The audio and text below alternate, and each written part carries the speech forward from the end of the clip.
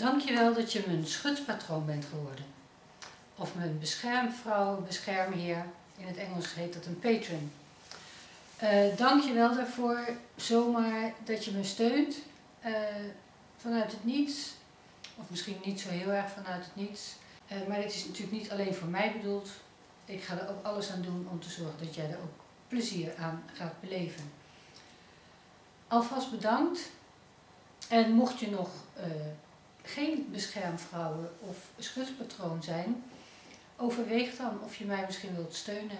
Je kunt meer over mij zien en lezen en uh, horen op deze, dit kanaal, op deze pagina.